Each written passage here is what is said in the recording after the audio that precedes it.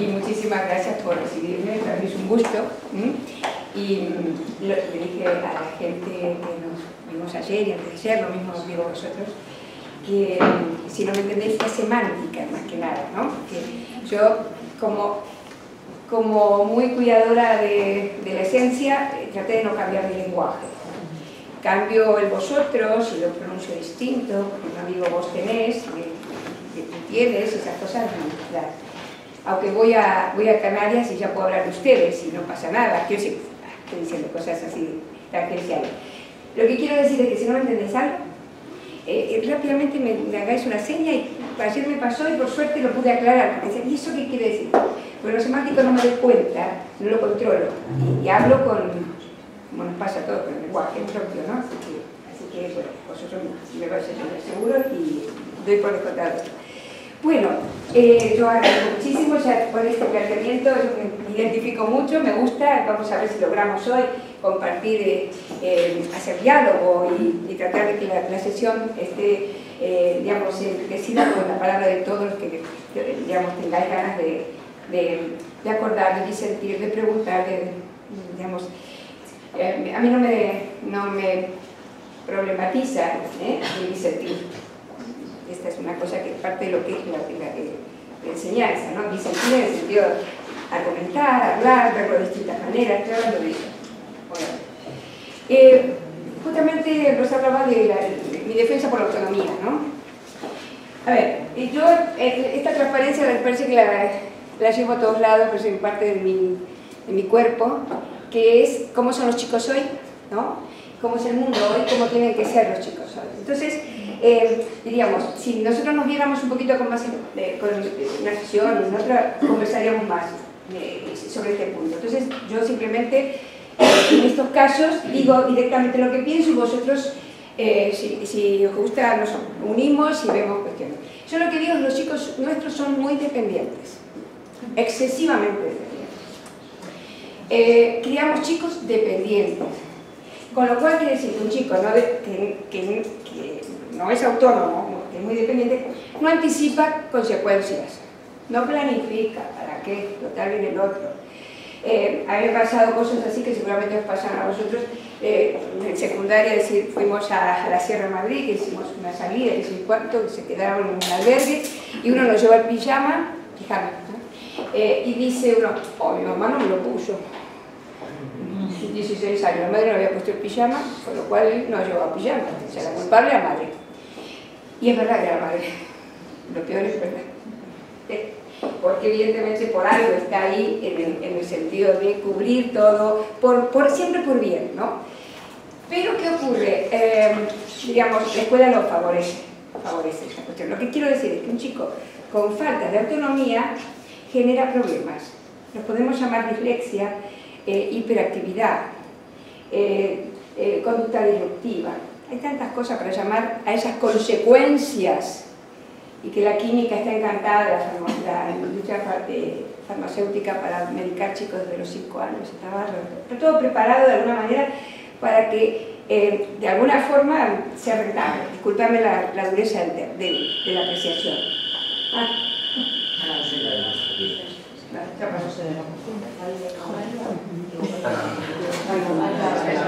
A ver si dijimos algo tan fuerte que la farmacéutica vino de Bueno, lo que, lo que quiero decir, para que nadie me entienda más allá de... Quiero decir, Están con la alarma, haciendo pruebas con la alarma. Ah, muy bien, muy bien. Para que nadie me entienda más allá del contexto que estoy diciendo. Estoy, estoy comentando que gran parte de los problemas gran parte de los problemas de los chicos de hoy se debe a que no saben resolver las cosas y generan problemas. Es decir, esa hiperactividad, esa agresividad que muchas veces vemos en muchos chicos. La dependencia se caracteriza por, ya te comentaba, no, trabajar, o sea, no trabajar por consecuencias. Lo digo más rápido porque el tiempo de la mañana se nos va rápido. Quiero decir, nosotros favorecemos en la escuela muchísimo esa dependencia. Por ejemplo, eh, los libros de texto son una fábrica de generar dependencia, completa, rellena, une, si no hay pregunta no contesto. Entonces, tiene que ser me acuerdo hace un tiempo en Galicia hicimos una, una sesión, hace bastante, una sesión y una maestra decía, bueno, no, porque yo no sé.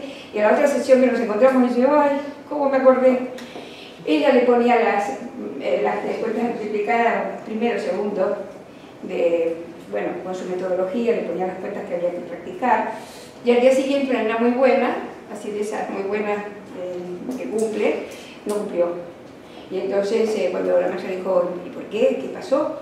Y ella dijo, ah, no me pusiste las cuentas. Se la apuntó a la maestra. O sea, no me pusiste las cuentas, se ve que la maestra eh, se olvidó de decirlo o, ella quedó fuera y la maestra no se dio cuenta, entonces ella no se las cuenta, porque como no se la pusieron, quiere decir que tenemos una dependencia muy acentuada que, llega, eh, yo le comentaba recién a las compañeras en la facultad, em, que por ejemplo tienen que venir por turnos, chicos de 18 años que ingresan a la universidad, y hay que, yo no paso lista, buena, buena cosa sería pasar lista, para, para, que vengan, porque están acostumbrados al control. Entonces, si no se pasa lista, entonces ya tengo que decir, bueno, vosotros aquí vamos a em, empezar a ver si funcionamos un poquito por consecuencia. Estoy diciendo, por ejemplo, si yo estoy con un grupo de chicos y digo, eh, si no termina esto, no hay recreo, la que administra el poder soy yo, ¿eh? me falta el tricornio y nada más, para decir que tengo que ir viendo qué es lo que, que controlo. Si yo digo, no, no, esto hay que terminarlo antes de ir al recreo, esto, esto hay que terminarlo. Tengo autoridad para decir que hay que terminarlo, pero no tengo autoritarismo de, estar diciendo lo que, lo que se merece cada uno por lo que eh, hacen los chicos.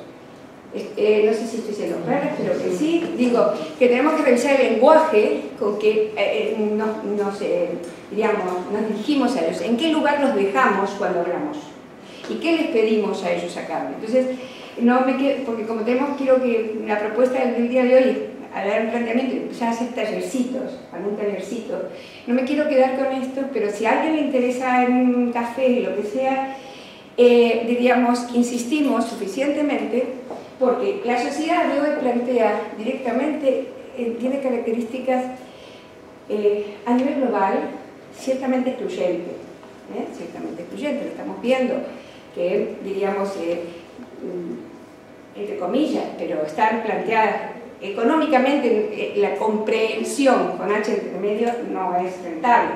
Ya desde los años 90, cuando se hizo la LOCSE, no se la adoptó fuertemente para, para digamos, para que realmente fuera rentable, con mayor cantidad de gente, con, grupos pequeños, con, con, muchas cosas. O sea, que esa que quepan todos, está muy bien el discurso, pero eh, eh, realmente no, no está muy ahora. Entonces, ¿qué quiero decir?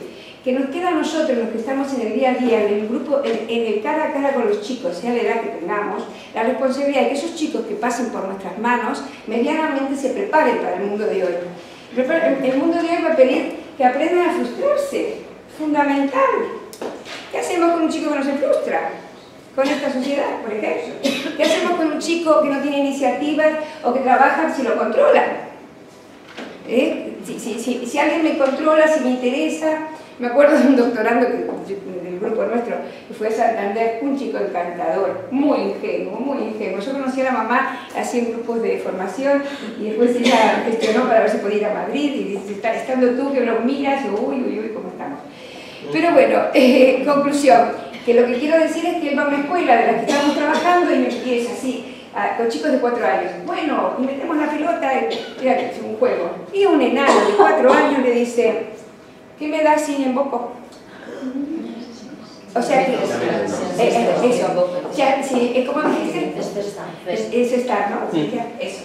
Eh, ¿Qué me das? Con lo cual viene y me dice, ¿puede ser que un chico de cuatro años me diga eso? Y doy tanto. Puede ser porque criamos, eh, los estamos criando con qué te mereces por lo que has hecho. Yo no me quiero quedar en este tema porque el curso exactamente, en la sesión exactamente se aplica esta metodología al lenguaje, pero mirar infinidad de cosas que nosotros estamos ofreciendo. Además hay dependencia, por ejemplo, si, eh, yo, ejemplos muy tontos, pero en casa pasa mucho, se pelean los chicos, uno interviene, le dice a cada uno lo que le toca, eh, a veces decimos, no, calle, mira, dale todo, que se calle, con lo cual uno depende del grito para sacar todo y otro depende de ser tonto para vivir, porque tiene que darle todo, porque si no, no vive. Conclusión que eso, de alguna manera, así como muy, muy sintético diríamos, eh, digamos, se solucionaría muy bien diciendo, ¿y yo qué tengo que ver en vuestra pelea? O sea, porque hablo de esta manera es, hay que tener los grandes límites y no tanto, no tanto los pequeños límites. Entonces, eh, hago un salto aquí y digo, hago un salto a, lo que sería eh, el gran límite o pequeño límite, a decir, por ejemplo, que a veces en las edades, aquí hay gente, estamos todos eh, con chicos de segundo en adelante, hay gente de primero también. ¿Gente de primero hay también? ¿Sí? Sí, bueno. No, no, no, ningún problema. A ver ejemplos, nada más. Sí, sí, sí, por respeto a que haya variedad, ¿no? Estoy diciendo, cuando nosotros nos obsesionamos muchísimo por el aspecto externo, como puede ser el, tipo de letra, o cuando nos obsesionamos fundamentalmente por la ortografía, y, y, que tenemos algunas cosas así que, que, los chicos no logran todavía, o, o, le damos prioridad al, tipo de letra, a veces estamos poniendo digamos, la mirada en un aspecto muy, muy accesorio y no vamos al fondo de la cuestión, no vamos, en este caso sería a generar cierta autonomía en, la, en la, elaboración de textos, por ejemplo. Bueno, dicho esto, diríamos, ¿qué competencias básicas necesitan eh, desarrollar? El lenguaje atraviesa todo, y un lenguaje que no se usa no se aprende.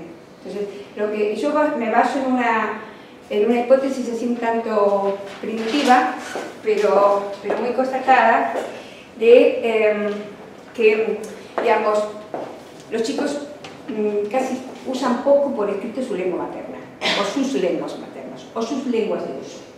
Vamos a, generalizar, porque sabemos bien que estamos, eh, que no sea materna es lengua de uso, en este caso vosotros tenéis las dos lenguas de uso que tienen los chicos, en casa, la escuela, lo que fuera, el mundo escrito está muy reducido frente a, porque copian mucho más que realmente generan por sí mismos.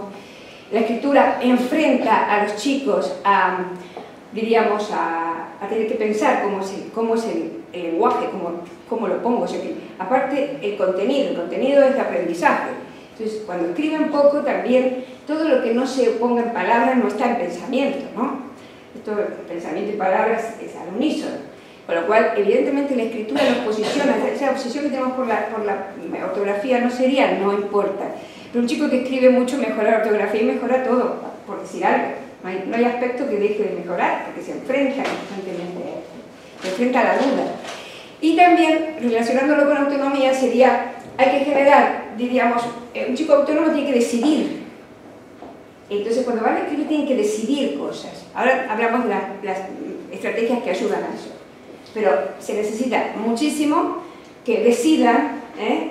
que se expongan, que, que, el lenguaje sea una herramienta, digamos, y si, por eso no me quiero meter con, los libros como causantes y todo, porque creo que, la, lo dije otro día, lo sigo diciendo en todos lados, la gran responsabilidad de la universidad, como sigue, sigue aún sin enseñar muy bien, no bien, muy bien, eh, cómo enseñar a leer y escribir, eh, la gente obviamente que ya hasta las nuevas camadas, eh, una cosa es la tradición que traemos todos, pero las nuevas camadas eh, tienen que engancharse en, situaciones así, por ejemplo, ofrecen los editoriales, estoy hablando de, por ejemplo, estas cosas las, comento en todos lugares.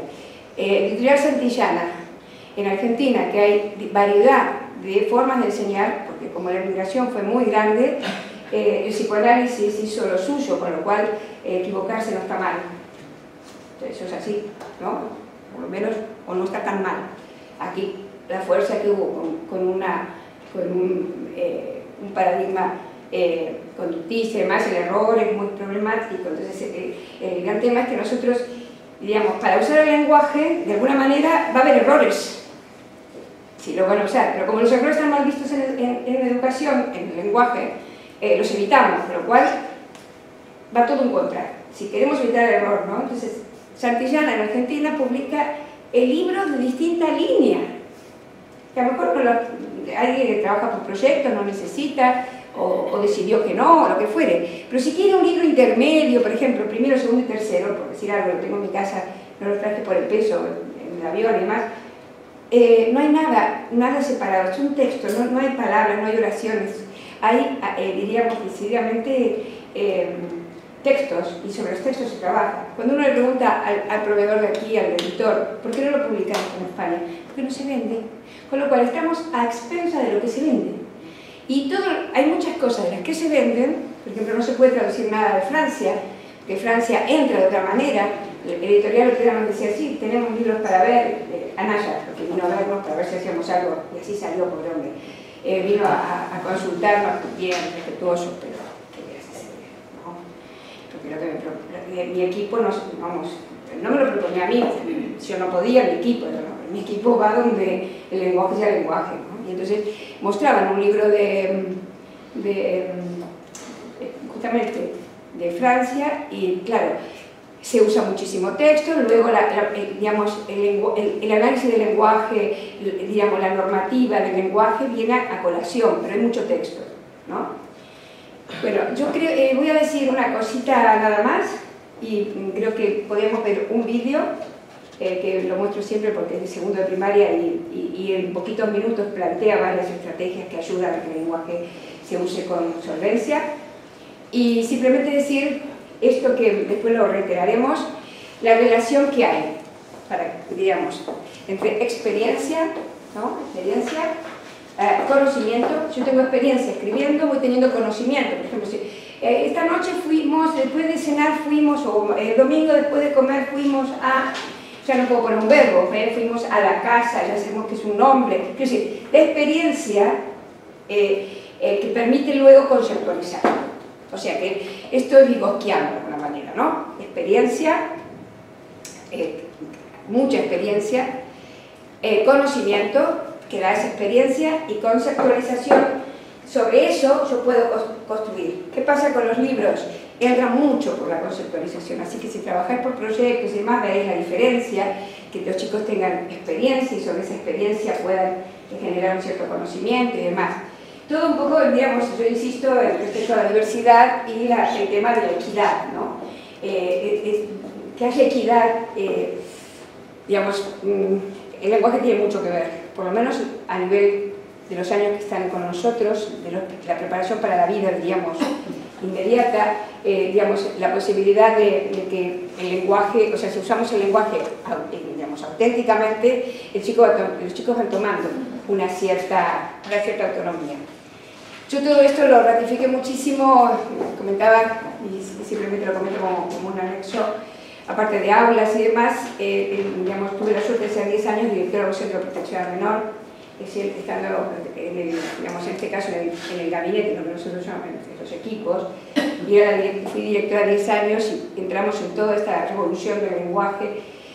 En los años 80 en Argentina, yo llego a España en el 90, y mm, eh, yo veía chicos que de un origen social tan difícil, de un abandono tan grande sin embargo tan dispuestos, cambiando metodologías y sobre todo entendiendo los errores típicos de aprender, ¿eh? los errores típicos de aprender. Quizás, eh, vamos, sí, y vamos a, sí, sí.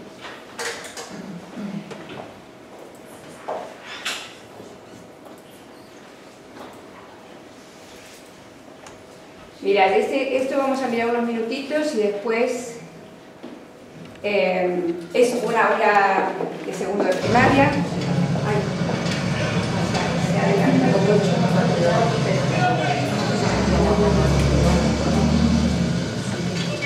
Andújar, eh, lo vemos y después. Un taller semanal que hacen sobre poesías.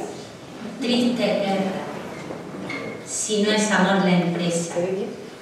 Tristes, tristes.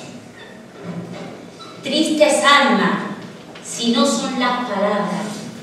Tristes, tristes. Tristes hombre, si no mueren de amores.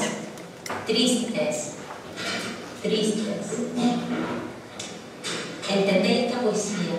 Pero eso dice por amor, porque matan, que las cosas se ponen a arreglar dialogando, no con la banda, la alma, para la gente. Tenemos que repasar la de la semana pasada. ¿Acordáis cuál era?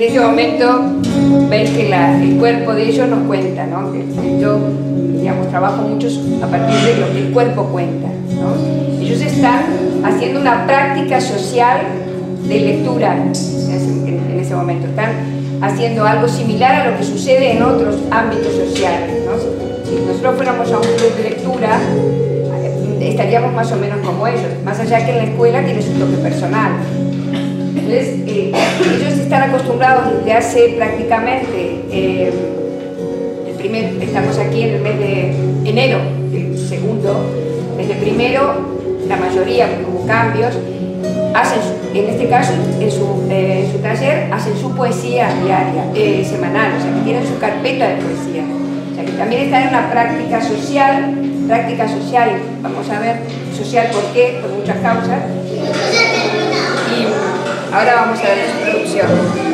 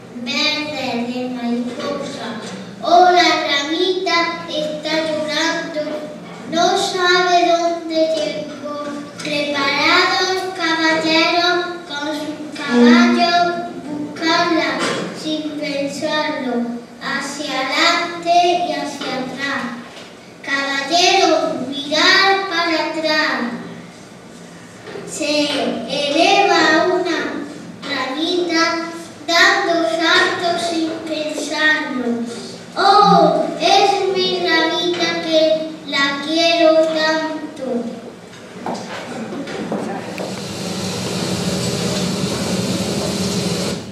Bueno, eh, vamos a, este- esta imagen, vamos a todos, nos sirve para hablar, eh, digamos, de algunas cosas que, que pasan aquí, que propician, eh, digamos, lo que hemos visto. Yo voy a, voy a poner las, eh, las, las poesías que han, han escrito, eh, las voy a poner, las voy a proyectar de todas maneras, están aquí, quiero decir, y los voy adelantando. Diríamos, a ver, eh, este es una, el, el grupo, lo habéis visto, o en Twist, es un grupo socialmente, digamos, donde las necesidades básicas están un poco ausentes en algunos momentos, son chicos que a lo mejor acompañan a los, a los padres a, la feria o a la recogida de la aceituna, lo que fuere, vienen poco a clase, hay un grupito estable y otro que va, viene, viene, va y demás.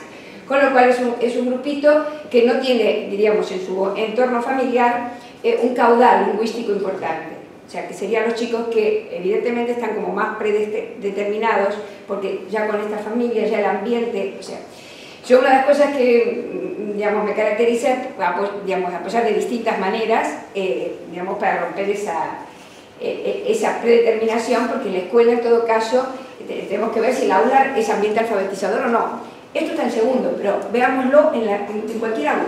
¿Es un ambiente alfabetizador o es un ambiente que nos contiene? Hay paredes, hay algún cartelito, hay algunos libros que necesitamos y nada más. Eh, eso es pobre, eh, diríamos. Primera cosa que uno tiene que ver para ver qué pasa con el lenguaje, en el caso vuestro de las dos lenguas que utilizáis, o las tres en el caso que tengáis el inglés obviamente que estáis estudiando, tiene que haber materiales, usos, elementos. Ese aula, una de las cosas que hace es el entorno, es un entorno alfabetizador. La maestra, que fue siempre una mujer del movimiento de renovación pedagógica y demás, eh, digamos, en el 99 empezamos a hacer un seminario, yo me dedico tanto al seminario y otro programa que hago, contaré mucho porque tengo material, es que yo trabajo directamente en aulas, en, en Galicia en Asturias. Voy directamente a aulas que, de gente que, no, que yo no conozco, ni quiero que me digan cómo son los chicos, y aplico unas estrategias para realmente tener conmigo eh, un bagaje mucho más actual del que pude tener antes, quiero decir, no solamente del que asesor, quiero decir que eh, ahora mostraré cosas que en Galicia ahora estuve en octubre justamente y tuve un sexto, tuve un segundo, y bueno, podemos compartirlo. Pero más allá de esto, eh, uno de los hábitos nuestros es este, digamos, es formar digamos, docentes, y acompañarlos, y a mí me gusta mucho el aula, me meto mucho en el aula. Aquí hacía ya cinco años que esta mujer había entrado a dudar, que al principio costaba, de que un chico, ahora voy a mostrar las, las cartas, pero antes de mostrarlas quiero anticipar, por ejemplo, el chiquito de, que ahora digamos, ya lo muestro y lo proyectamos, pero el chiquito que el último hace eh, hiposegmentación, o sea que no segmenta casi nada, pone algunas letras en una palabra y en otra no, pero escribe como todos. Y se siente escritor como todos. Eso cambia mucho. O sea, esa historia que hemos tenido de darle cosas distintas a los que están en distintos niveles, nos perjudica. Lo digo pensando. O sea, uno tiene que esperar diversidad, pero hay propuestas, la mayoría tienen que ser para todos. No puede ser que, que se segmentemos. Yo justamente decía, yo fui siempre en el movimiento de renovación pedagógica, pero siempre en un aula hay grupos. Y yo he trabajado con esos grupos. Si van al recreo uno, ven, con mucho cariño y cuidado, vamos a trabajar. Pero ese chico ya se sentía, o sea, el chico tiene que sentir que puede. Lo cual no quiere decir que yo no le diga a él, bueno, estás, estás cada vez más, pones más letras, está fenomenal, te ayudo y mejoramos algo. O sin que le pregunte eh, con mucho permiso, te ayudo y mejoramos algo. Eh, las pongo porque si no los proyectos no se van. Estoy hablando quizás de una manera. A ver. eh,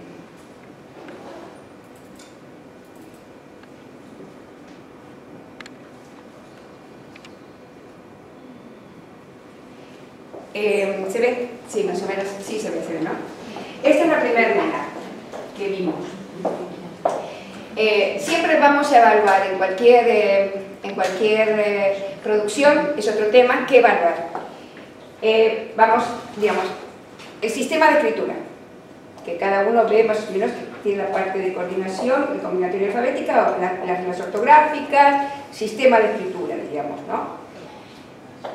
La otra cuestión que uno analiza es la adecuación al texto, ¿eh? la adecuación al texto, al tipo de texto. Es interesante porque eh, también eso hace a la variedad. Ser usuario del lenguaje requiere escribir distintos textos con distintos destinatarios, no siempre para la maestra y que, la maestra o el maestro sea el que evalúa. o sea, tienen, si no hay diversidad, por eso estoy, justificando por qué a veces, a veces, no me entendáis mal, yo no conozco y estoy hablando en general, pero lo que conozco, y es bastante, mundo por el mundo, el lenguaje se acota bastante en destinatarios. El lenguaje eh, se escribe, escribe más que nada para pocos destinatarios. Eh, los, los textos, las superestructuras, ¿m? diálogo, narración, argumentación, exposición, las grandes superestructuras textuales, las cuatro, se repiten mucho eh, y, y hay privilegio de algunas en desmedro de otras. Esto- hay que revisarlo. Después yo, después, eh, eh, la costumbre que tengo, después paso transparencias con estas partes teóricas, pero no las vamos a pasar para que vamos conversando y, eh, digamos, y ya luego las voy pasando. Quiero decir que estas superestructuras también es un punto a revisar. Esta es una, digamos, está, digamos, dentro de lo que significa la poesía, que puede ser... eh, digamos, relacionada con una narrativa, aunque no nos parezca, pero aquí la, la paloma está triste por la guerra, le han pegado un tiro en su casa y encima de todo le han destrozado su corazón. ¿no? Está contando, está narrando. Y en un momento dado también puedes hablar en primera persona y se combina con una superestructura de diálogo, ¿no? como que expresa. Entonces, eh, diríamos, esta nena, digamos, eh, termino los aspectos, los, básicos. El aspecto del sistema de escritura combina medianamente bien, tiene algunas cosas que lograr, uno siempre tiene que ver eh, el desarrollo real, ¿vale? Vamos a trabajar con el concepto desarrollo real y el desarrollo próximo. Ese es el, gran secreto de cualquier, para mí, de cualquier docente. Identificar que a un chico, ahora vamos a ver otro, eh, otro caso, no le podemos pedir que su desarrollo sea la convencionalidad, porque está muy lejos. Todavía no es convencional del todo, por la causa que sea. Entonces, esta el sistema de escritura está muy aproximado a, a- a una convencionalidad, eh, logra medianamente, eh, por algo, digamos, eh, ella logra, ella logra porque hay unas prácticas de enseñanza que la llevan a identificar las características de la poesía, ¿no? Luego, diríamos, vamos a mirar las marcas notacionales y podemos mirar, que es interesante mirar, la coherencia y la cohesión. Esa es, eh, es la gramática, ¿no? Eh, la coherencia y la cohesión se mezclan con el estilo textual y la poesía tiene su propia coherencia. Y, obviamente, quiero decir que eh, cada, cada tipo de, cada superestructura, diríamos, tiene muchas variedades. Entonces, esta nena, diríamos que, ahora me contáis lo que os pareció. Acá viene el texto del otro muchachito. El horizonte está lleno de flores, con una muralla llena de hermosas hormigas muy bonitas. No, niño bonito, está matando las hormigas. No, niño, no mates. O sea que está muy bien, pero diríamos que podríamos llegar a pensar, eh, diríamos, por supuesto, en su... eh, en el, sistema pareciera que está inseguro, borra bastante, pero a lo mejor borra porque no sabe qué poner para que sea poético, pero de alguna manera, eh, diríamos, podríamos mejorar hasta la cuestión textual, porque cuando dice, muy, eh, a ver, eh, enormes, hermosas hormigas muy bonitas, no, el niño bonito está matando, eh, parece que no, no busca la estructura tanto de, de- de verso en sí, sino que narra más, pero le pone toques. Pero estoy revisando el rizo, ¿me entenderéis? O sea que me pongo encantada, contenta y no le digo más nada, pero digo, rizando el rizo, digo que uno puede decir que podemos ayudarlo a que a lo mejor acomode mejor los versos y demás. Bien, pero mirad este.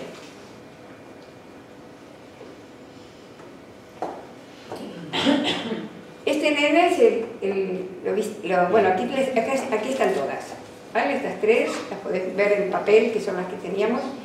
Eh, Veis que hiposegmentación lo podéis tener en un chico con dificultades mm, sociales, lo podéis tener en un chico con una segunda lengua, o una lengua que no domine, que todavía no tiene convencionalidad para entender bien cómo se separan, donde eh, podés tenerlo perfectamente con, que, eh, de hecho en adultos pasa medianamente lo mismo cuando están accediendo al lenguaje, ¿no? Es una cosa absolutamente clara que en, la convencionalidad del, sistema de escritura eh, no es algo natural, es, cultural, estamos todos de acuerdo. Con lo cual hay que entender que esa combinatoria da ese resultado. Eso no es tan fácil. Y más en un chico que, usa el lenguaje de en cuando. ¿no? Entonces, eh, esta maestra está entendiendo que este chico está en, este, en esta etapa, verá después cuando termina segundo si tiene que repetir o no repetir, no repitió, pero lo verá en otro momento, pero lo que está claro es que, em, digamos, hay que adelantar, y para adelantar el chico tiene que, que concebir que puede. Y yo puedo trabajar con él en la zona de desarrollo próximo. Y es lo que decía, la zona de desarrollo próximo de este chico no es el de la nena, el, primero que hemos visto. Es imposible por más que tenga siete años, que esté en segundo, no, imposible. Entonces, evidentemente, eh, en la medida en que, en que se le acepta esto y mm, va, también produciendo y teniendo su carpeta con cuestiones y él, él se siente incluido, ese mismo tiene curiosidad. Habéis visto que se lee que después está mirando un libro, no sé si lo llegasteis a ver. Él todavía, fijaros cómo lee, fijaros cómo escribe, imaginaros que le cuesta leer, decodificar, y él está buscando una poesía para la semana que viene, o para él está indagando como los demás y, guarda sus poesías. Dicho todo esto, ¿qué me decís vosotros? Así analizamos qué hace la maestra para lograr esto. No sé si os parece, qué, os parece, y me, dais, me dais una devolución de qué os parece.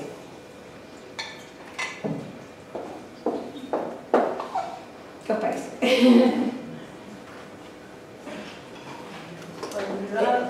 la ha recitado, sí. aparentemente ha sido bonito.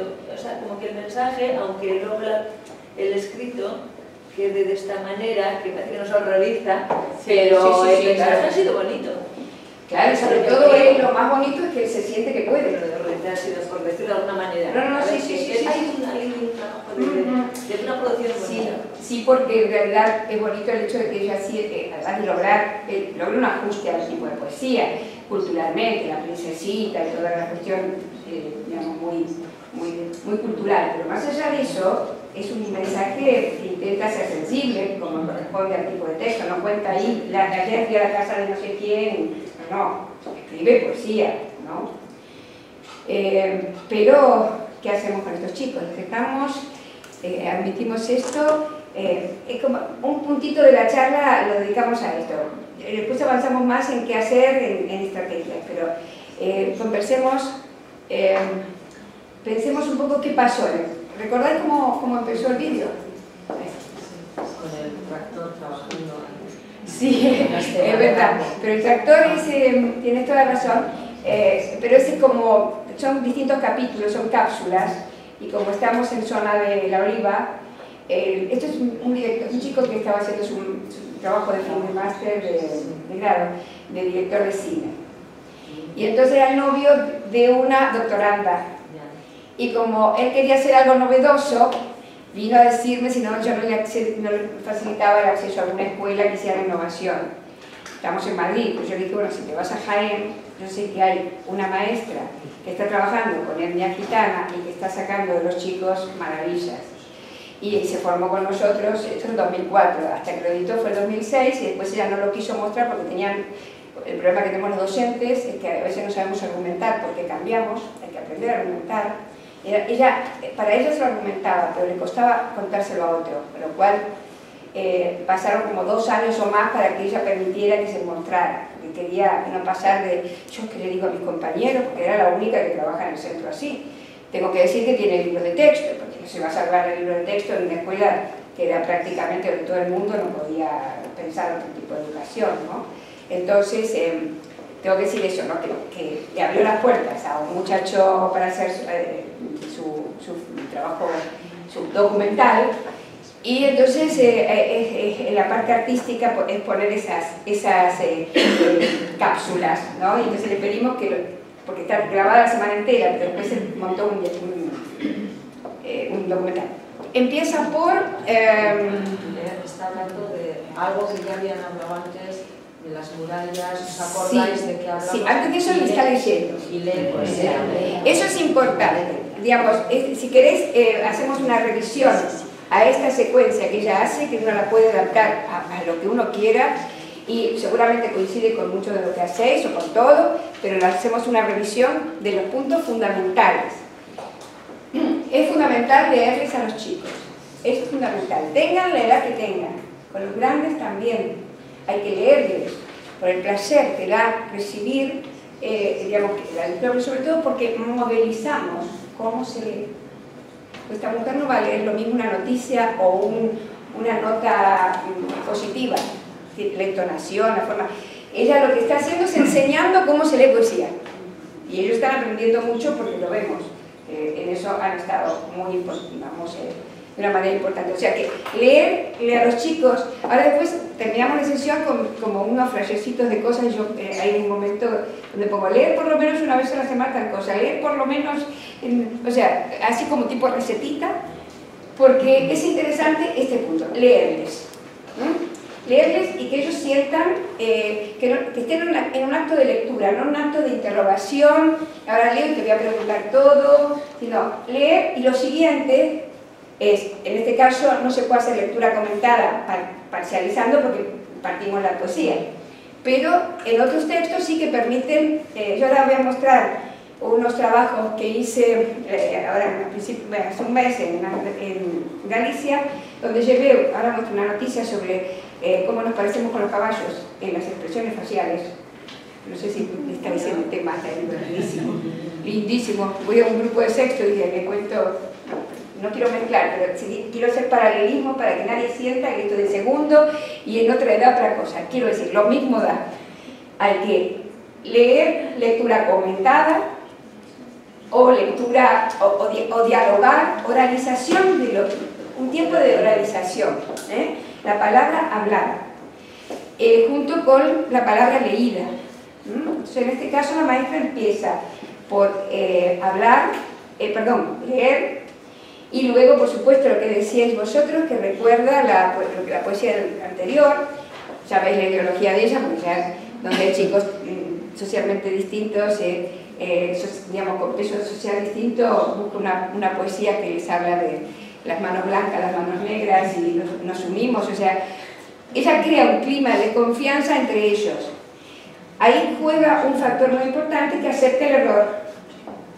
Si ella no acepta el error, eh, a ver, eh, yo lo que quiero, me gustaría, no sé si lo logro, esto es muy, muy límite, este, este, este, este texto es muy límite, quizás no tenemos todos esto, pero tenemos otras cuestiones que cuando los chicos escriben a su manera tienen otros errores.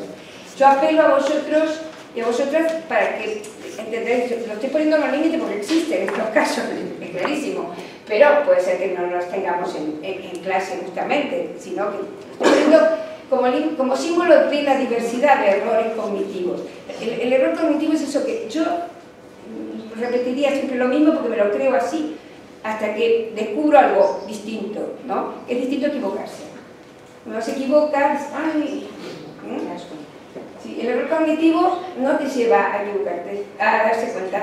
Sigue poniendo lo mismo, porque has convencido que eso es así, y más aún, no, es estable.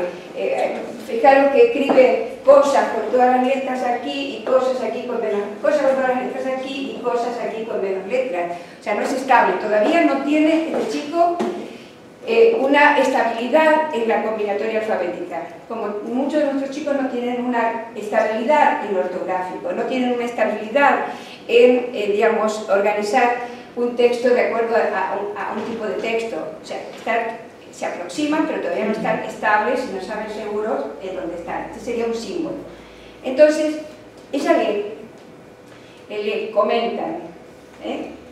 Eh, diríamos, hay dos momentos de la secuencia distintas. Leer, comentar, de una manera, participar, y la escritura viene después de eso. Nosotros, esto si os sirve, lo comento. Yo lo que veo es que se, eh, se llega a la escritura muy rápido. O sea, casi que se explica algo y escribimos.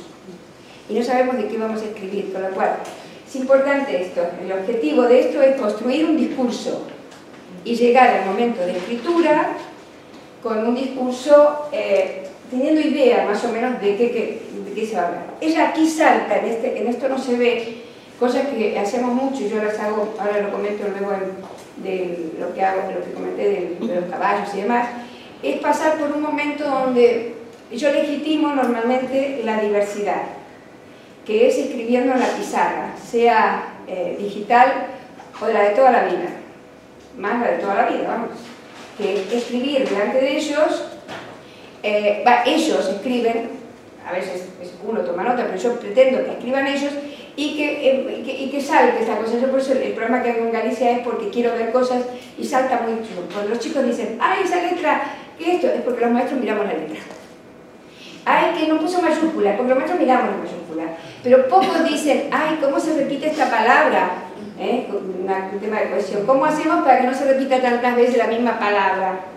Eh, no lo decimos. Los chicos, poco, cuando no lo dicen, que no lo decimos nosotros tampoco. Y es fundamental decirlo, mejorar. Entonces, yo intento hacer una, una, una recogida, eh, ellos van diciendo cosas, cuanto más chiquitos son, eh, se equivocan en cosas, eh, o lo tienen para otros, se equivocan en cosas así de este tipo y aparecen, no, que no se escribe así, yo ahí legitimo, y para que este es el primero más todavía, no, no, no, eh, tú ni te acuerdas cuando escribías así, déjalo que le escriba así, o ella escriba así, o sea, legitimar que podemos escribir distintos, porque todavía estamos aprendiendo. Luego verá la posibilidad de que yo ayude a mejorar, en algún caso, en la zona de desarrollo próximo de este chico, pero no pretender que el que sabe, ya sabe, el, el que entre comillas sabe, se adjudique el papel, papel de decirle a todo el mundo que mmm, casi no se escribe. ¿Mm? Casi no se escribe, esto no es así. ¿no? Entonces, evidentemente, lo que, digamos, sí, por favor. Entonces, por ejemplo, cuando se equivocan en hacer una, una letra, por ejemplo, que hacen la S al revés, la Z al revés, ¿se le deja Esto no, diríamos, o se le deja? Esa letra revés está en el campo, rápidamente que mirar el campo, marcas notacionales, pero pone todas las letras, es como, eh, te pregunto, que sería el campo del sistema de escritura. Pone todas las letras correctas, bien. Porque a veces, eh, diríamos, eh, no es que lo de, esta actitud no es déjalo que va a ir solo, yo estoy en contra de esto. Déjalo que va a ir solo, no. Hay procesos de mejora posteriores, pero posteriores o durante, pero no de todo. Quiero decir, si nosotros mejoramos todos, los, los chicos escriben menos. Yo lo que quiero es que tengan curiosidad y que lean y escriban sin que yo esté encima, estoy hablando de la dependencia, de la autonomía, ¿no? sin que yo esté constantemente diciéndoles que lo tienen que hacer. Esa actitud de que los chicos agarren el libro, esa actitud de que ellos lean o que ellos escriban por sí mismos algunas cosas, yo las busco. Y si estoy corrigiéndole todo, todo, todo, eh, yo aprendí hace muchos años, por intuición, antes de formarme en toda esta línea, eh, de los primeros años de magisterio, yo le decía a los padres, bueno, es que si yo corrijo, es verdad, usted va a creer que está todo bien, porque soy buena maestra, pero su hijo no pensó nada, eh, o su hija no pensó nada, con lo cual que eh, nadie agarra la hojita y dice, ay, en serio, fíjate, puse B y era V, no, ay, mira que me equivoqué. Nadie hace eso, lo archivan casi, y es para los padres. Entonces, uno lo que no mejora con los chicos, que sean cognitivamente activos, eh, vale poco. Quiero decir, esto yo sé que es difícil, pero yo lo cuento, eh, cuento lo que era, digamos, cuando uno tiene una, cuando uno entra en la trampa de que los padres exigen, eh, lo primero que yo diría es que los padres exigen que nuestros hijos aprendan, o exigimos que nuestros hijos aprendan. Y si nosotros sabemos que ellos no miran eso que revisamos nosotros y no aprenden, a lo mejor es el momento para decir, miren, nosotros, estamos haciendo revisión colectiva, estoy mejorando acercándome mientras construyen los textos, estoy haciéndolos pensar. Usted seguramente va a ver que todo lo que escribe no está corregido, pero esto no quiere decir que no trabajemos esto. Lo único que voy a decir es que que yo lo corrija no quiere decir para nada que su hijo lo mire. Con lo cual, si su hijo no mira, vamos a usar, a usar ese tiempo en algo más, más potente. Yo sé que esto es como para decirlo, es heavy, pero es, es fundamental, porque si... ¿eh? La apariencia porque bueno, con el dos enteros de frente dices no, hasta aquí. Claro. Me lo he gustado así un poco, ¿eh? Con esa presión. Claro, claro. Los cuadernos tienen que estar mirados, supervisados. Yo ahí lo que diría, eh, chicas, chicos, eh, una cosa, si os parece, a lo mejor hay que segmentar y algunas cosas que van a casa, yo voy a decir algo que parece mm, engañoso, pero estoy convencida. Tal como los chicos también descubren el sistema de escritura en proceso, también los maestros vamos cambiando el proceso. Y a lo mejor dentro de un tiempo tenemos argumentación suficiente para decirle al padre, mire usted, a los padres, mire usted, hacemos esto y le muestro y demás. Pero eh, quizás hoy no, con lo cual ahí separemos qué tipo de trabajos le vamos a pedir a los chicos que a lo mejor se quedan, mira, esto, esta, esta maestra, la que muestra, la- muestro esto, a lo mejor se quedan eh, editados, anillados en el aula, por ejemplo, ¿no? Aquí vais a ver, el de primero de primaria, vais a ver, esto es el libro de mis cuentos de primero. Y entonces vais a ver que empieza poniendo letras que no todavía ni tiene idea de, cómo se combinan y qué significan. Y es el mismo chico, es el cuaderno del mismo chico. El libro, ¿no? De primero.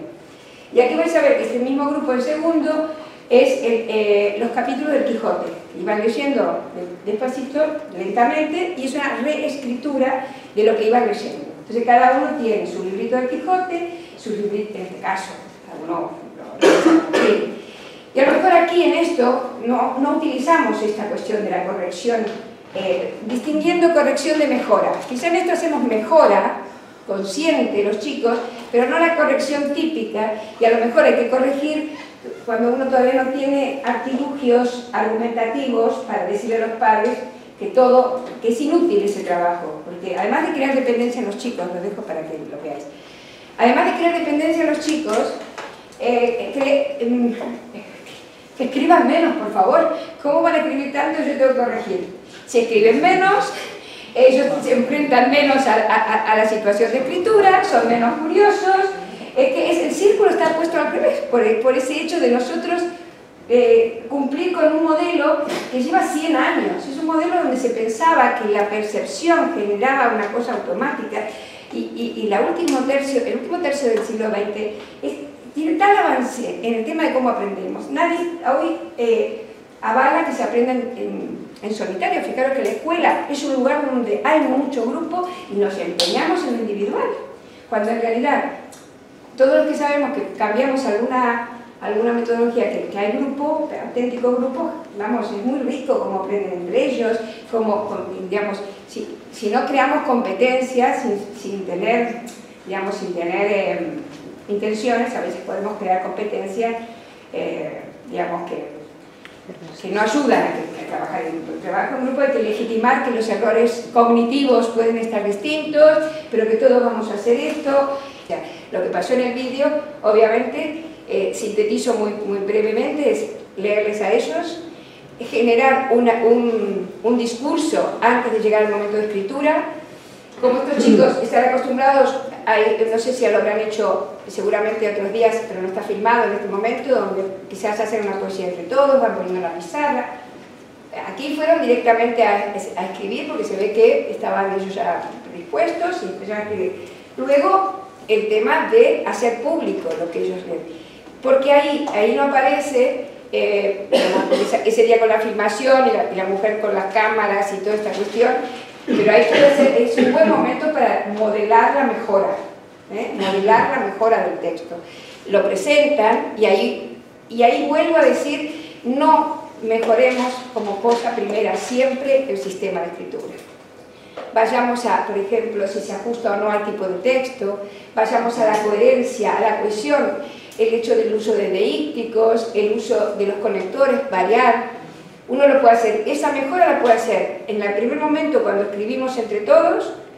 Eh, Yo, por ejemplo, cuando trabajo en Galicia, nos reunimos, el, programa es poner cámara, eh, vienen maestros, organizan la escuela para venir varios maestros y luego tenemos reuniones, o a la tarde o lo que sea, y hablamos con esa afirmación. Y siempre los maestros me dicen cosas como, yo pensé que nunca le ibas a dejar escribir, porque hablaba y hablaba. Claro, un chico que habla mucho, que participa, después produce, porque tiene elementos. El problema es producir sin tener, sin tener recursos, sin tener discurso, mejor dicho. Y la otra cuestión es, yo pensé que no le ibas a corregir la falta de ortografía. Claro que sí, pero no lo primero, porque va a ser lo primero, ni mucho menos.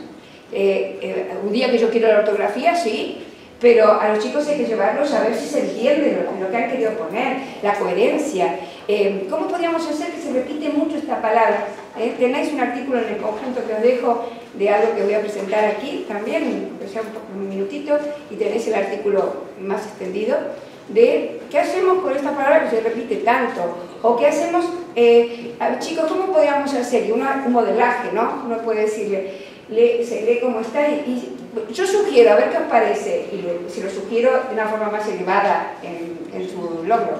Y ellos se dan cuenta, así que a lo mejor, bueno, probemos, a ver, y ahora vosotros, o sea, quiero decir, que hay que, hay que modelar la mejora, hay que poner la, la pantalla, digamos, visual en aspectos que los chicos no miran. Porque estoy hablando de autonomía y estoy hablando de eh, usuarios del lenguaje, con lo cual es bueno dar herramientas que mirar, ¿no? Y por supuesto, eh, después la mejora, el, presentar en público, yo contaba ayer que eh, en, en Galicia un año y, si- yo te llevaba, yo llevo libros o cosas, y tengo algunas ideas de qué trabajar con ellos, pero de acuerdo a cómo se plantea la cosa, voy terciando un poco, ¿no? Y me doy cuenta que no te terminé de contestar y ahora lo voy a retomar. Eh, entonces, el caso está en que eh, yo le leí cuestiones de mitología y una, eh, yo trabajo mucho la intertextualidad, que quiero relacionar con esto. O sea, que un texto me lleva a otro. Yo, por ejemplo, si yo le doy la palabra a los, a los personajes y la- los personajes hablan, eh, mm, yo en la conversación ya voy diciendo, si tú fueras fulanito, ¿qué dirías? ¿Qué dirías? Y tú, y no sé, y juego un poco para que ellos ya generen un diálogo entre personajes y, por ejemplo, un texto nuevo distinto a la narración sería el diálogo que tienen los personajes, estos del cuento, si es un cuento, con otros, o no, lo que fuere, ¿no? Entonces, evidentemente la intertextualidad es una herramienta para que eh, lo que se aprovecha con un texto sirva para otros textos. Eh, Después del recreo vamos a hacer unos, unos mm, de intertextualidad, ¿m? Eh, para jugar un poco con ello. Entonces, eh, evidentemente, en la intertextualidad hay, digamos, hay una posibilidad de, ir estirando, digamos, la- eh, ampliando la secuencia. No quiero pasar sin contestarte, porque me doy cuenta que te dejé. Eh, diríamos, no es que no, no tengas que decirle, lo único que puede pasar es que, dependiendo de cómo sea el chico, si un chico está en una etapa muy de inicio y está, está como muy, mm, ah, diríamos, tenso, no, no muy seguro, a lo mejor lo bueno es dejarlo escribir todo lo que se pueda y si te parece, yo te- tengo otros textos, lo que pasa es que no quiero mostrar esos textos porque por el horario nos marca mejor que vaya a esta, esta actividad. Pero en el recreo por eso te lo muestro, eh, que es el justo del primero. El caso está en que tú puedes perfectamente mejorar algo con ellos, entonces sí que puede ser, fíjate, fíjate la letra aquí, como es y como la foto, ¿se puede mejorar o se puede mejorar? Tú tienes que mirar siempre la zona de desarrollo próximo, pero también la seguridad tiene zona de desarrollo próximo. Si ves un chico inseguro, es mejor que le propongas que escriba mucho, porque escribiendo mucho va a coger, va, a coger em, experiencia. Lo que te quiero decir es que no le corrijas siempre. Lo cual no quiere decir que no, no lleves a una mejora, pero que, no eh, que es un detalle absolutamente mínimo en el contexto de su seguridad. Si él está inseguro o ella está insegura, eh, digamos, puedes, no pasa nada que puedas indicar eso, pero tú valoras si, eh, si escribe con, amplitud de, texto, si, si, tiene, si tiene, diríamos, eh, eh, mucha oportunidad o, escribe poquito porque está muy nervioso, o sea, eso es- hay que valorarlo.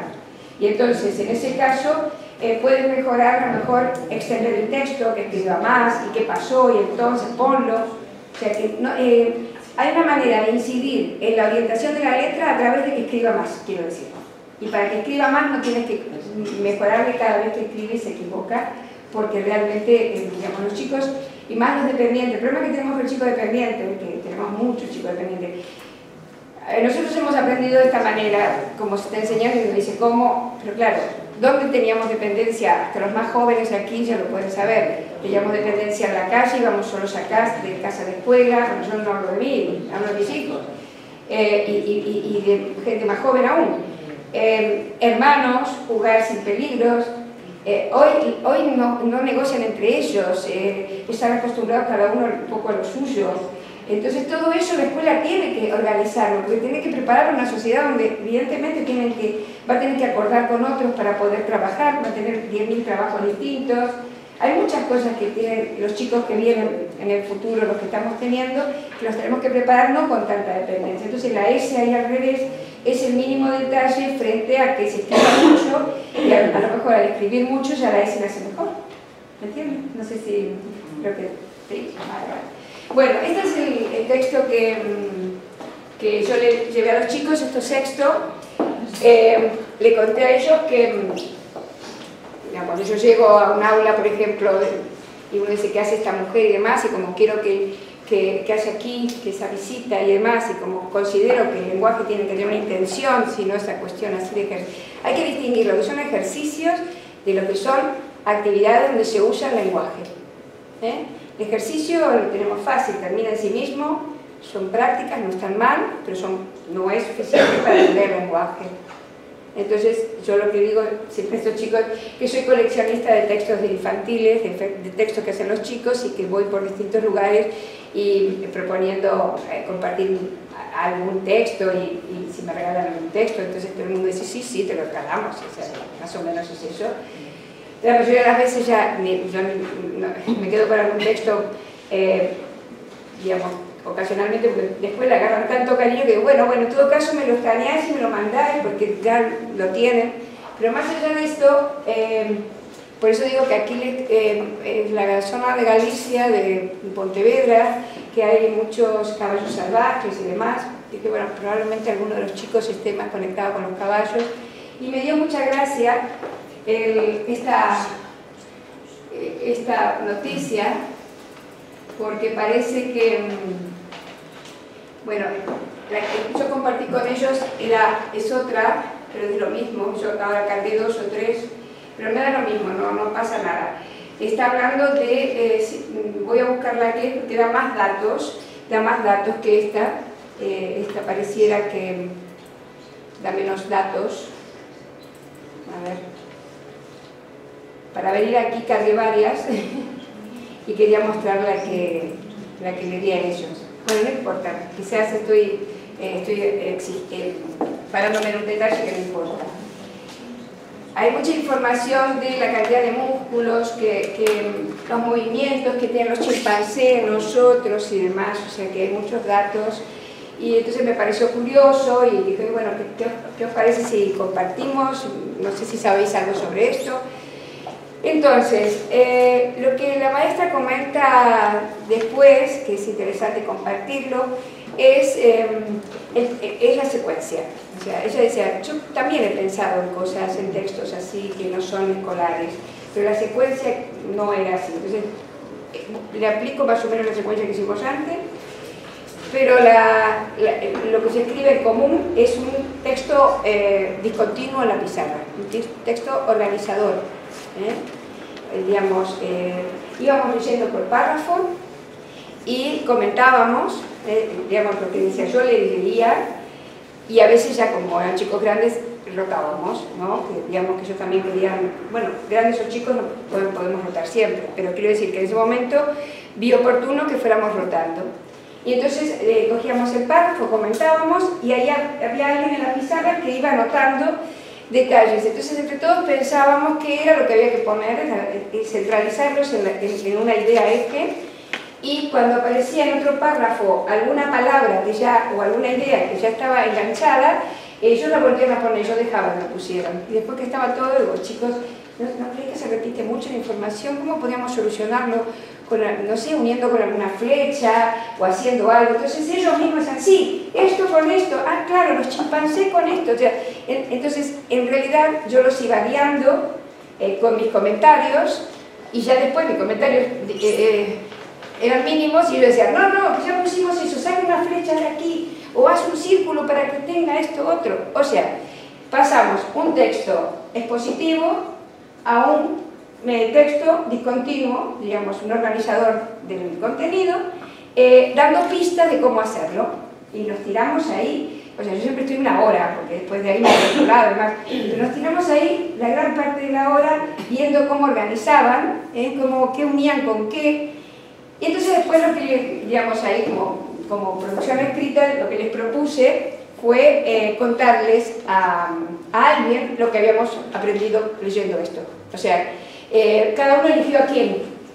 Y entonces yo me acercaba, eh, digamos, ayudándolos a pensar qué le querían decir a esa persona, ¿eh? qué le querían contar. O sea, tratando de que se ubicaran, que no fuera un, tipo, por ejemplo, en ese momento podía ser a una maestra que quieren mucho y demás, y que, estaba enferma, y alguien dijo eso, yo podía haber, haber cogido el, más fácil, y bueno, le escribimos a ellos y se lo mandamos. El destinatario, ellos no decidían, yo, la autonomía requiere que ellos decidan y que haya consecuencias, o sea, con lo que deciden. Entonces, yo lo que llevaba, al grupo lo llevaba a decir, eh, ¿a quién le quieres escribir? ¿Eh? ¿Y qué le quieres decir? Entonces, yo lo que le pedí es que hicieran un pequeño esquemita de lo que querían decir, antes de escribir. ¿Mm? Un pequeño esquemita y ya cuando tenían ideas llegaba a la producción. Por supuesto, eh, yo si me hubiese quedado un día... Así que lo que quiero, lo que quiero decir en esto sería eh, una hora de clase, chicos que yo no conozco, un chico que uno de los trabajos es, es el de él, que le encantaban los caballos y demás, pero con una, con una problemática de desarrollo, donde prácticamente está en alfabetización inicial. No lo dije y estoy dándome cuenta en este momento, eh, si dividimos en tres grandes apartados de la alfabetización, nos vamos a, vamos a poder ver el conjunto, que sea la alfabetización inicial, que muchos de vosotros estáis todavía con chicos de alfabetización inicial, la alfabetización avanzada, que muchos de vosotros, la mayoría seguramente está en la alfabetización avanzada, y lo que sería la alfabetización académica, que, tiene, que, es transversal, o sea, eh, eh, sobre, escribir sobre determinados temas, que no es lo mismo que escribir así el cuaderno el, diario personal, ¿no? Entonces, eh, digamos, en una hora, digamos, lo que nosotros, el secreto medianamente para que hasta este chico se enganchó a escribir algo con dificultades, pero claro, encima, por supuesto, fue comiquísimo la intertextualidad, un nene, dice, señor, hay un chiste que me contaron que me parece que viene aquí bien. Claro, hablábamos de todas las, las eh, expresiones de los caballos y demás, entonces dice, entra un caballo a un, a un bar y dice, eh, ¿dónde vas tú con esa cara de enojado? Nos hemos reído muchísimo porque él, no contaba un chiste cualquiera, él le buscó un chiste al texto. ¿eh? Un chiste al texto. O sea que ahí sería un hecho intertextual genial, porque sería, a ver, eh, digamos, ¿qué, ¿qué, sentido, qué relación tiene? Claro, con todos los músculos que se mueven parecidos a los humanos y demás, el camarero lo confundió con, una persona y ahí le decía que estaba enojado, ¿no? Que, que viene con esa cara enojada. Y él dice, bueno, lo ajusto a eso, ¿no? Lo ajusto, lo ajusto a ese, a ver qué ocurre.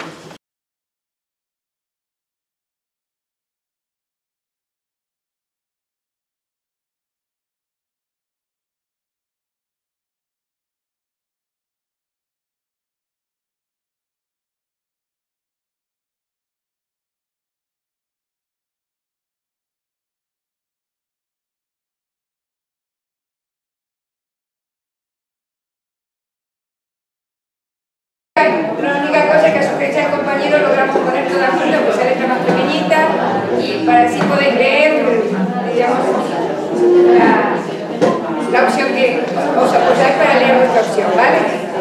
Bueno, eh, que nos espera el café, esto como dije a los chicos, no voy a decir si hacemos rápido tomamos café, no, tenemos que terminar para tomar café. eh, ¿Quién quiere empezar? Por aquí seguro, esa cara que tienes, entusiasmo. Sí, pero me he quedado, no, me he quedado más. Te ayudamos, te ayudamos. No, eh, me parecía que el uno va tomando la manzana del piso, la respiró contra su hojas de dulce y se la acercó a la boca pidiendo darle mordisco. Y luego había puesto, ¿eh? pero es que no sí, sí, sí, le podía pasar lo mismo que la reina del relato que acababa de leer, Blancanieves y los siete enanitos. Luego, pues se lo repitió a sí mismo el 12 y olvidado de sus temores, mordió la fruta.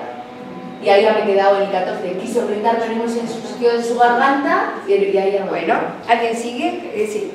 A nosotros nos parecía, bueno, que es- empezamos igual. En ese, cuando iba, va a morder, ve el libro en, el- en la hierba y entonces es cuando piensa, me eh, bueno, en Blancanieves y los gitanos, me- igual me pasa lo mismo que le pasa a la protagonista del cuento. Eso sería el comienzo. Luego ¿Alguien, ya, sí, ¿alguien tiene ese comienzo? Eh, adhiere al hecho de mirar, sí, por allí, de, de mirar el, el libro, es el aporte que, sí, como que el libro estaba ahí en el inicio. Ah, presente, ¿no? Sí, acababa de leer. Sí, a ver, a ver, Charo, a ver. No, yo, yo había puesto también primero la 1 y luego la 7, pero es que ahora creo que incorporo primero la 5. No estoy segura, estaba intentando coger la frase y los números. eh, o sea, yo diría primero la 1, luego la 5 y luego la 7. Sí. Perdón, perdón. que El libro, Eso ver, es. que el, el libro en No, qué momento aparece, si antes o después. Luego la ¿Dónde lo pones 3, tú? luego ponía la 3 Blancanieves y Sirenado. 1, 5, 7, 3. y luego yo ponía la 9. Tres, sí. La 13. A ver, Después la 13 y después la 12. Ah, 1, efectivamente. 5, 7, 3, 13, 12. Eh, léelo, eh, la 13. Le dio una mirada de desconfianza al libro tirado descuidadamente sobre la hierba. Que. Sí. Habría que ¿Qué libro, a qué libro se refiere? Ah, Y ¿alguien, alguien vio ahí otra, otro juego, otro personaje. El 3 después del 13. Le dirigió la mirada de desconfianza y luego dice, ve el título, Blancanieves y los siete Sí, sí, sí. Y ahí aparece la madre por un lado. Sí. ¿Qué? Fue entonces que se le ocurrió. Sin embargo, recordó a su madre. Y lo que habíamos dicho antes, ¿no? Sí. Eh, ¿Y qué le dice la sí, madre? que era lo de Son- son preocupes, nueve. Nueve. Nueve, nueve. Eso lo cuento Juan. Sí, sí. Pero ¿qué pasa en realidad después? Si te lo miraba la. Nos quedamos sin café. Pues que.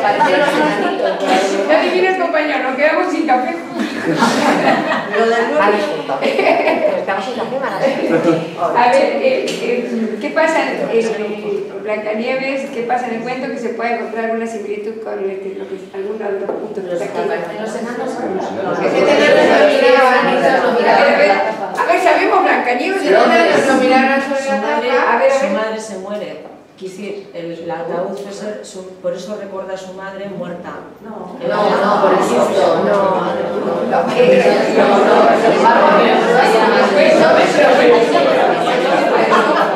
Podía ser, a ver, a ver, hay varias, de esto va, va a surgir distintas versiones.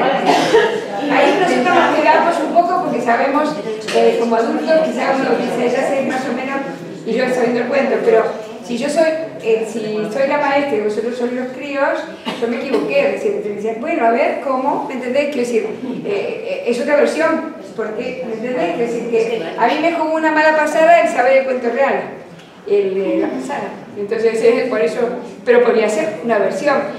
Blancanieves aparece o no aparece en una caja de cristal. Eh, Está conservada por unos años metida en una. O, no, o la durmiente. No es, no es Blancanieves.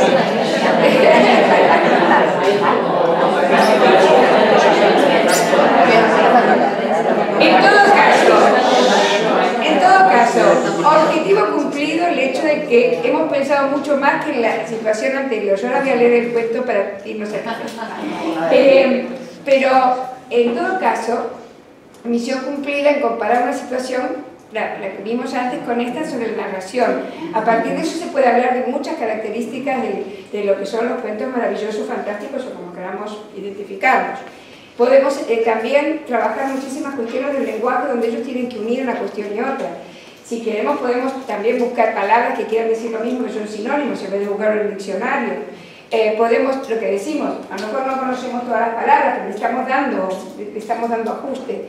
Y mi objetivo era tener una vivencia en esa línea, por supuesto busqué un, cuentito corto, ahora vais a ver qué cortito, pero que tiene su dificultad, eh, pero para los chicos Primero, si lo hacéis con chicos más grandes y le leéis este cuento primero, que lo saben, porque eso es interesante, yo lo hice a propósito que no lo supiese para crear más eh, clima, pero que lo saben, eh, como ellos saben, tienen que organizar, pero aquí le faltan conectores, unión, están los fragmentos sueltos. El objetivo justamente es aprender a organizar.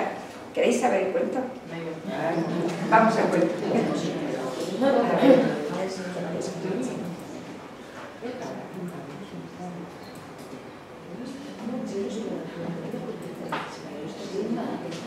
La manzana. Juan levantó, la, manzana del piso, la lustró contra el pullover de dudosa higiene y se le acercó a la boca decidido a darle un mordisco. Entonces se le ocurrió, le podía pasar lo mismo que a la heroína del relato que acababa de leer. Le dirigió una mirada de desconfianza al libro tirado descuidadamente sobre la hierba, Blancanieves y los siete enanitos. Sin embargo, recordó a su madre. No te preocupes. Ahí va, pues, ¿no? Ahí no te preocupes. No te preocupes. Es tan solo un cuento, Juan.